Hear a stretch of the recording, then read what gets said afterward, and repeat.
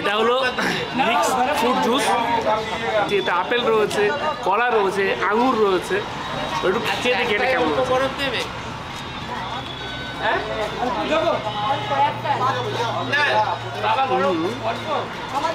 খেতে অসাধারণ হয়েছে বাট আপেলের পরিমাণটা বেশি আছে এটা বোঝা যাচ্ছে। আর ওভারঅল খেতে দারুণ এটা দারুণ সুপার সুপার